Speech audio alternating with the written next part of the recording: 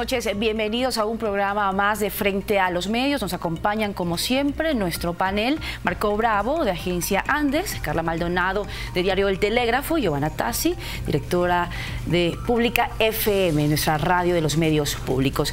En esta ocasión nos acompaña Todd Chapman, embajador de los Estados Unidos en nuestro país con más de 25 años de carrera diplomática. Embajador, muchísimas gracias por estar con nosotros. Es un gran gusto estar aquí, María Muchísimas gracias. Bienvenido, embajador. De hecho, su antecesor, Adam Nam, eh, él ocupó la sede diplomática desde el 2012 y él, en su discurso de despedida, aceptó que las relaciones con nuestro país, con el Ecuador, tenían ciertas trabas y pasaba por momentos difíciles. Usted está con nosotros ya en nuestro país desde enero del año pasado. ¿Ha cambiado esa percepción ahora que existe un nuevo gobierno con el presidente Lenín Moreno?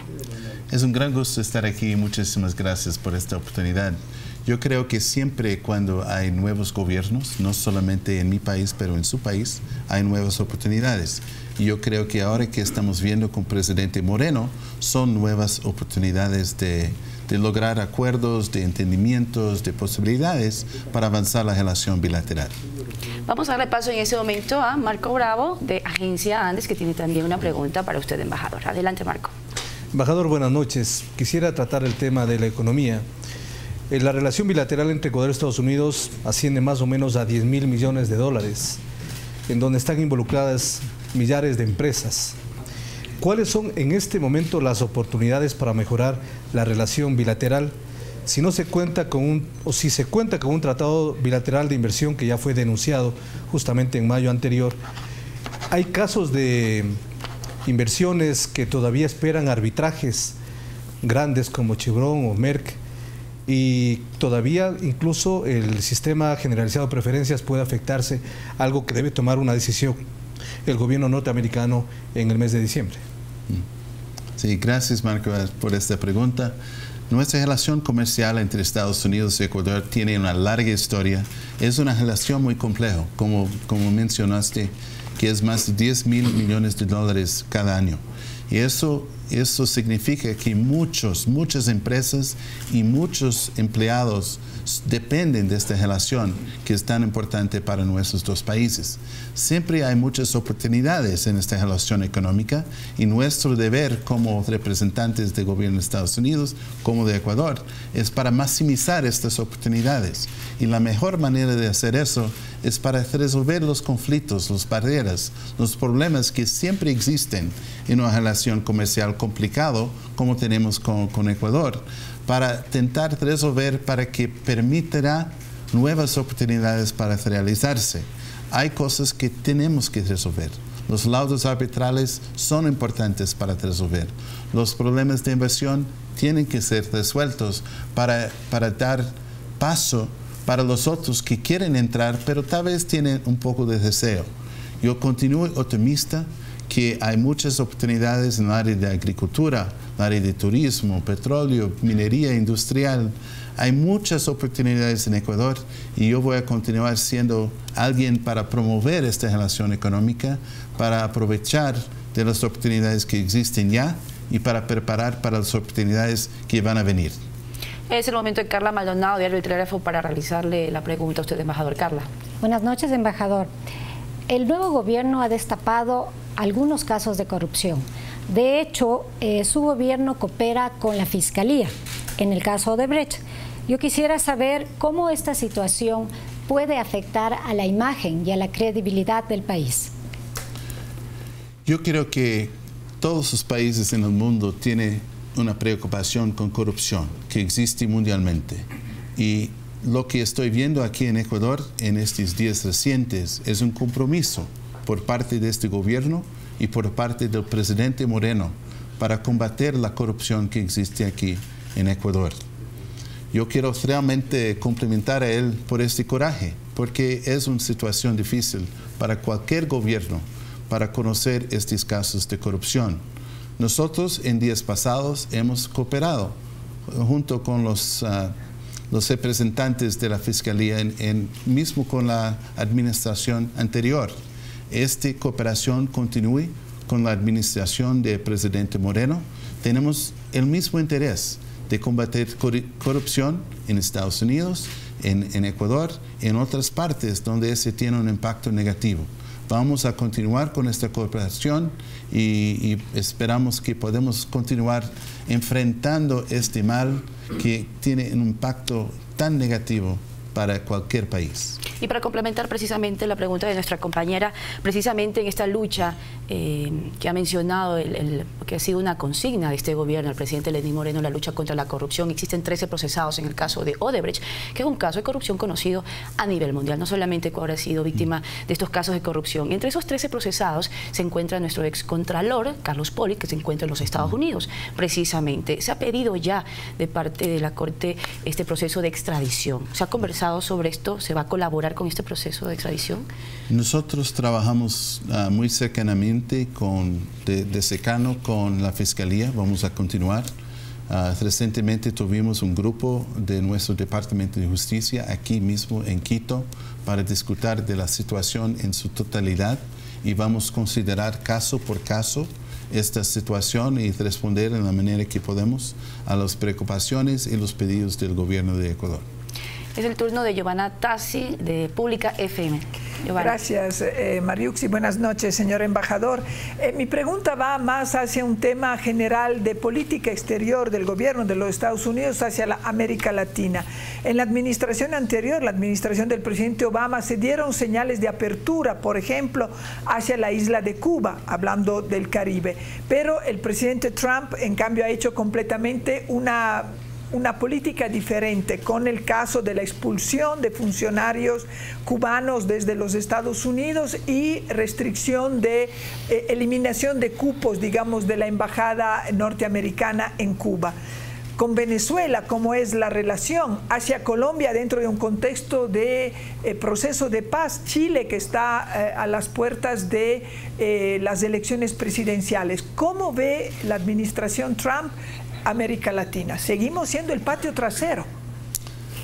Gracias por esta pregunta para esclarecer que nuestro compromiso con América Latina continúe fuerte y nosotros vamos a continuar a trabajar para fortalecer estas relaciones que tenemos con toda América Latina para el bien de la zona, de la región y el bien de nuestro país. Como, menciona, como mencionaste, Cuba y Venezuela son dos casos que, que, son muy particulares históricamente. En Cuba, como sabe, hubo estos uh, problemas con nuestros diplomáticos que enfrentaron un, tipo de ataque de sonido que es muy preocupante, por eso tuvimos que retirar a algunos de nuestros diplomáticos de, de, Cuba y la situación es muy serio para la protección de nuestras familias y nuestros diplomáticos. Vamos a continuar con esta relación con Cuba, pero necesita también incluir los temas tan importantes como los prisioneros políticos y los derechos humanos, que son temas bastante importantes a nosotros.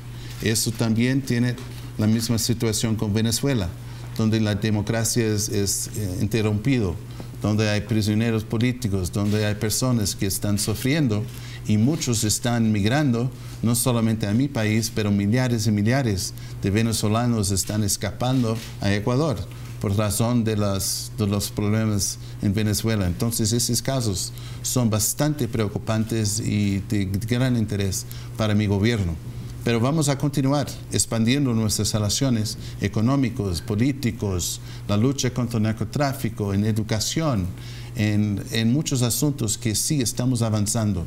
La administración de Trump va a continuar comprometido a avanzar las relaciones en América Latina. Y para continuar hablando del tema económico, seguramente, embajador, usted conoce sobre las medidas económicas que se han pronunciado aquí en el Ecuador. De hecho, el sector empresarial lo rechaza rotundamente y ha pedido que se elimine, por ejemplo, la tasa de servicio eh, de 10 centavos, que para ellos es como una competencia desleal, incluso entre los tratados internacionales. Eh, ¿Cuál es la mirada de los Estados Unidos frente a estas medidas? ¿Es una tasa, es un arancel? ¿Cómo se lo vería?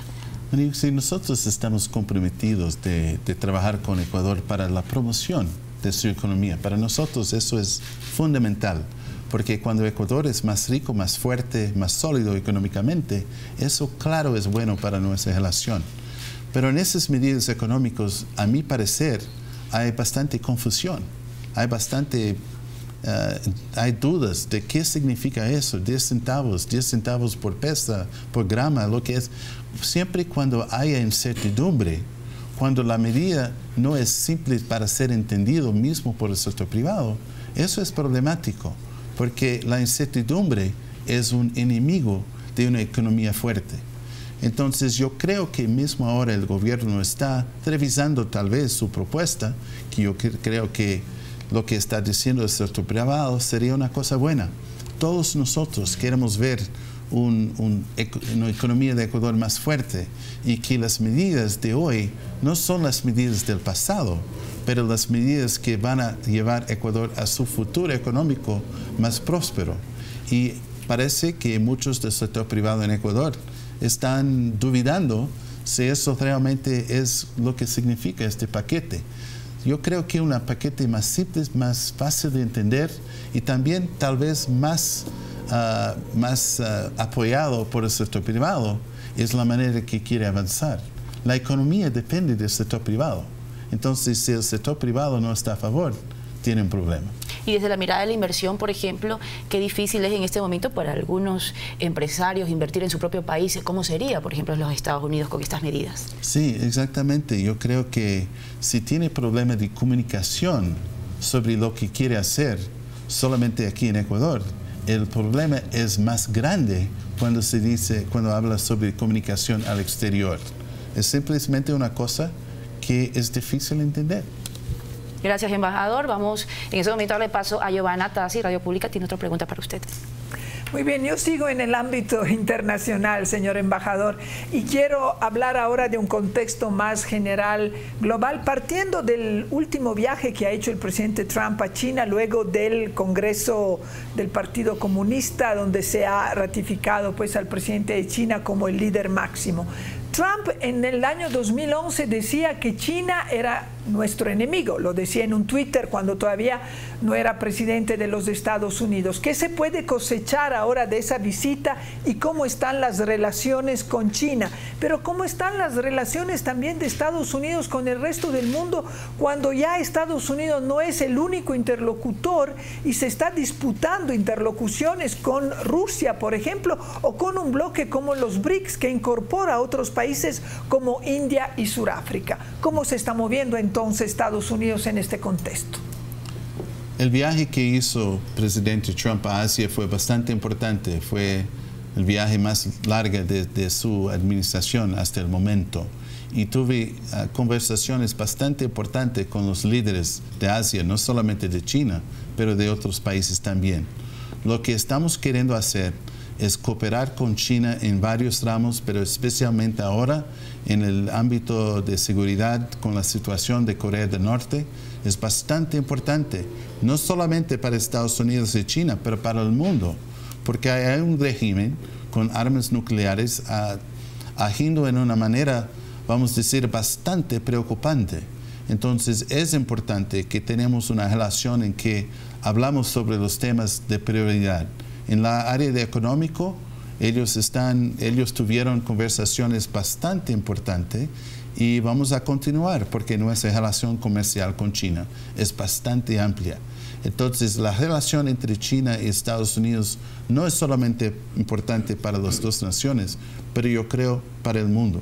Y vamos a continuar a trabajar en una manera muy pragmática, avanzando nuestros intereses nacionales y ojalá vamos a poder hacer eso junto con China y otros socios que tienen los mismos intereses para seguridad y para una situación económica ah, más justo para todos. Carla Maldonado del Telégrafo tiene otra pregunta para usted, embajador. Eh, embajador, vamos a tocar el tema político.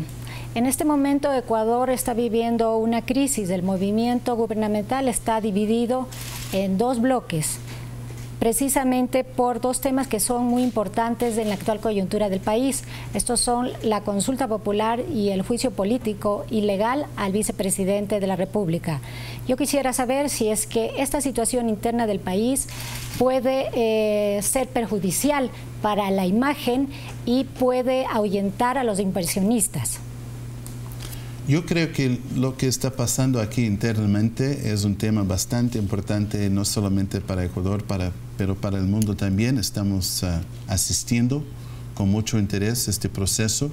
Esperamos que, que, todos que están involucrados están agiendo en el buen interés de, de su nación. Ahora, sobre los, los movimientos internos entre partidos políticos, eso no es un, un, tema para comentar un, un, embajador. Yo deseo todo el bien para el proceso, que continúe siendo de una manera muy idónea, muy abierto, ah, muy democrático. Eso es bastante importante, que las instituciones democráticas establecidas por la ley son, uh, que tienen el poder de agir en el bien nacional de Ecuador. Yo creo que eso es bastante importante y, vamos como todos a asistir con mucho interés y deseando siempre el bien para, para el país. Marco Bravo, agencia antes tiene una pregunta para usted, embajador. Embajador, quiero insistir en el tema económico. Eh, el timing es muy importante en economía y en política, sin duda. El expresidente Obama patrocinaba los tratados del libre comercio. El expresidente Correa tiene una mirada y una práctica diferente. Ahora el presidente de Estados Unidos, Donald Trump, no patrocina los TLC, sino más bien acuerdos bilaterales. Y el gobierno nacional del presidente Moreno también aspira a un tratado, a un acuerdo comercial con Estados Unidos. ¿Cómo está esta situación? Porque el ministro Campana en su gira por Estados Unidos y Europa habló ya de un acercamiento mucho más fuerte con Estados Unidos para lograr un acuerdo comercial. Con estos antecedentes y con lo que hablamos en la primera parte respecto a las situaciones legales, ¿cómo está esta situación? Estás diciendo la cosa muy clara, Marco, es que hay un problema de timing entre las administraciones. Como yo diría, como yo decía antes, cuando haya nuevos gobiernos, hay nuevas oportunidades, pero en este sentido tenemos algunos cambios en los dos países en que ahora no tiene tanto interés mi gobierno en TLCs como antes. Pero sí el presidente Trump mostró su interés en tener más acuerdos ah, bilaterales, que es una posibilidad para Ecuador. Pero tenemos que primero resolver las barreras que existen para avanzar la, la relación económica tenemos que resolver los casos que están en arbitraje, tenemos que resolver los problemas en, varios temas que están pendientes. Tenemos que entender exactamente las nuevas medidas que están siendo introducidas, que, como ya acabo de decir, son difíciles para entender cómo esto es consistente con los acuerdos que existen en el OMC. Entonces, hay muchas cosas que tienen que ser esclarecidos pero nuestro deseo es para avanzar económicamente, pero antes resolviendo esos problemas, barreras que existen. Terminamos esta ronda de preguntas en el primer bloque, señor embajador. Vamos a hacer una breve pausa, así que quédese con nosotros y tenemos más inquietudes para conversar aquí frente a los medios con el embajador Todd embajador de Estados Unidos en nuestro país. Volvemos.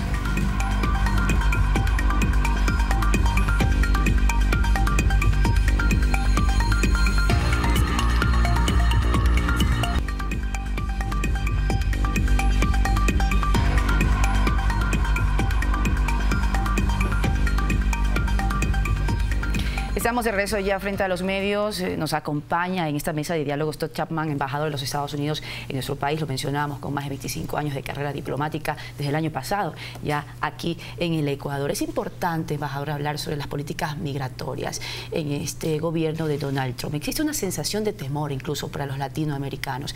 ¿Estas políticas migratorias traen cambios para nosotros los ecuatorianos, quienes quieren acceder a una visa, para los ecuatorianos que se encuentran en los Estados Unidos?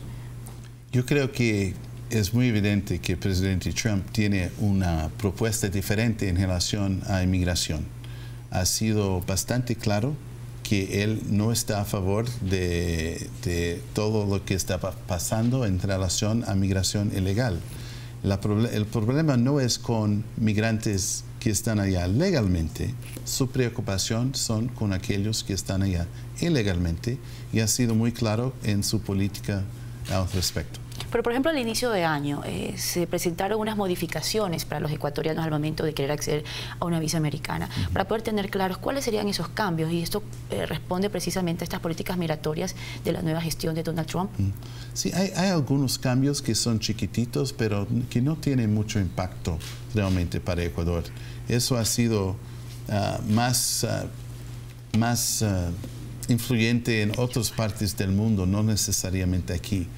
Todavía estamos recibiendo más de 200 mil aplicantes para visos aquí en Ecuador.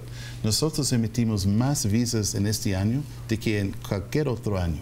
Entonces, ecuatorianos continúen yendo a los Estados Unidos frecuentemente y vamos a continuar a, facilitar estos viajes legales a los Estados Unidos resuelta entonces la inquietud que seguramente muchos ecuatorianos estarían pendientes de su respuesta, señor embajador.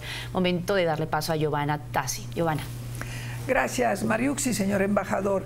Eh, yo quisiera volver sobre el tema de la claridad que usted decía que se necesita claridad para que los inversores vengan aquí a Ecuador. Pero yo me pregunto también, como ciudadana ecuatoriana, ¿cuáles son las condiciones que pone el gobierno de Estados Unidos dentro de estas negociaciones? O sea, ¿cuál es el punto de partida? Porque si nosotros analizamos desde la confusión que tiene el gobierno de Estados Unidos hacia Ecuador, pero no hay un entendimiento del por qué Ecuador toma determinadas decisiones, entiendo yo que el diálogo va a ser un poco complicado. Entonces, yo quisiera saber también qué escudos ponen ustedes cuando nosotros vamos a negociar para poder ingresar e invertir en Estados Unidos. Hablo como el país Ecuador, ¿no? Sí. Nosotros, ah, cuando hablamos con un otro país, ah, en este sentido Ecuador, realmente no hay tantas negociaciones que existen entre los dos países, porque normalmente si tiene simplemente un tratado para guiar su trabajo y después es el sector privado que trabaja, es el sector privado de mi país que decide si van a invertir o no. Y la importancia de eso para, para cada ecuatoriano es que la inversión que viene de fuera, de Estados Unidos, de Inglaterra, de donde, crea empleos. Y eso es lo, lo importante en todo eso, es la creación de empleo. La situación que General Motors tiene una fábrica aquí en Quito genera muchos empleos, millares directamente y muchos indirectamente. Tenemos nuevos hoteles, tenemos nuevas empresas Cargill allá en, Guayaquil haciendo nuevas fábricas. Eso significa empleos. Entonces tiene que pensar en inversión como la creación de empleos y oportunidades. La otra cosa que hace es la creación de empresas que pueden exportar productos. Y siempre cuando exporta, se crea oportunidades. Mira el sector bananero es un productor de empleos para el país. Entonces, eso es lo importante para cualquier ciudadano. La entrada de inversión de exterior es la creación de empleo. Gracias, embajador. Carla Maldonado tiene otra pregunta para usted. Embajador, la relación de Ecuador y Estados Unidos es vieja, entre comillas. Tenemos más de 50 años de relación, pero en los últimos 10 años hubo altibajos en esa relación. Ahora con este nuevo gobierno y estos nuevos aires de apertura y de querer hacer las cosas, ¿cuán propicio es que esas relaciones se profundicen en áreas como las drogas, economía, cultura y hasta turismo? Siempre y cuando hay nuevos gobiernos, hay nuevas oportunidades. Y el presidente Moreno ha sido bastante claro en sus declaraciones inmediatamente de su elección. Es que él quería refrescar las relaciones con todo el mundo, incluyendo los Estados Unidos. Nosotros hemos reunido antes de la, de la inauguración y después, hablando sobre cuáles son las maneras en que podemos ampliar estas relaciones. Realmente las puertas están abiertas por los dos lados de esta ampliación de relación. En la lucha contra el narcotráfico, relaciones económicas, en el flujo de, de estudiantes a nuestras universidades, en la lucha contra la violencia contra mujer. En todos esos temas nosotros tenemos programas que estamos implementando en ese país. Y ahora estamos viendo más y más oportunidades porque las puertas están abiertas y eso es un buen señal. Gracias, embajador, por su respuesta. Marco Bravo, Agencia Andes. Quisiera profundizar también el tema antimigratorio, la política que está llevando adelante el presidente Donald Trump. Y para saber los resultados efectivos de esta, de esta política, en los últimos meses varios ecuatorianos han retornado a nuestro país, incluso algunos han denunciado de manera ilegal existen un millón, un millón y medio de ecuatorianos allá viviendo en Estados Unidos. ¿Qué está pasando entonces con los resultados prácticos de esta política considerada por muchos como dura? Eh, muy dura efectivamente por los mexicanos, costarricenses, etcétera. ¿Cuáles son los resultados palpables de esta política del presidente Trump en el tema antimigratorio? Yo diría simplemente para tal vez eh, una discrepancia, yo diría que es, antimigratorio. Yo creo que es a favor de migración legal y siempre ha sido. el problema es con los que vayan a mi país y se queden ilegalmente. Eso es la preocupación. Nosotros vamos a tratar todos con respeto, con los derechos humanos, con los, eh, todos los derechos que ellos merecen a través del sistema judicial. Pero lo importante es, si está allá ilegalmente, es importante que sale del país uh, voluntariamente. Si no, va a tener que salir y, es importante que eso sea bien claro. La realidad es que las nuevas políticas han disminuido bastante la entrada de inmigrantes ilegales a nuestro país. Vamos a continuar, como yo dije, a favor de migración legal, simplemente tratando tal vez en una manera un poco diferente a migración ilegal. Gracias, embajador. Realmente ha sido una ronda de preguntas muy interesante por parte de mis compañeros, seguramente de interés ciudadano. Los ecuatorianos van a estar muy pendientes de sus respuestas porque es importante esta relación que por años a veces eh, se ha visto en esta línea muy débil ¿no? entre los Ecuador y los Estados Unidos y que se está fortaleciendo ya en este momento. Antes de despedir, quisiera, embajador, que usted me comente un poco sobre cuál es la mirada que tiene los Estados Unidos, usted personalmente sobre los medios públicos. Hace un par de días hicimos el anuncio de los nuevos cambios, los nuevos rumbos de los medios públicos en el país. Sí, muchas gracias por esta oportunidad. Ha sido una experiencia fantástica y simplemente quiero cumplimentar a todos los profesionales de los medios públicos. Yo he leído ah, recientemente sobre los cambios de dirección y cómo quiere servir la nación con información, que es un deber de cualquier medio público. Simplemente, simplemente para decir que cumplimento Ah, queremos dar todo apoyo posible para ser un socio para ustedes y que continúe con la información, lo que es, lo, lo que es lo cierto, para tener la información cierta, para saber cómo está pasando las cosas, no solamente en su país, pero internacionalmente también. Muchas gracias por esta oportunidad. Gracias a usted, señor embajador Todd Chapman, embajador de los Estados Unidos de nuestro país. Así finalizamos este programa frente a los medios. Agradecemos también a Carla, Giovanna y a Marco por sus preguntas y a ustedes, por supuesto, como siempre, por su compañía. Nos vemos en un próximo programa. Buenas noches.